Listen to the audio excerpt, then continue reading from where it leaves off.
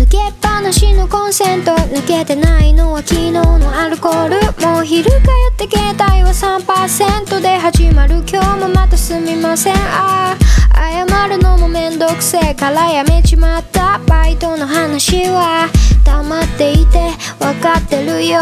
しっかりするから抱きしめてて。おい眠れぬ夜君。を連れ出してしまうのさ。酔いから覚める日が来るまで君の話日々は退屈すぎてでも幸せそうに見えた。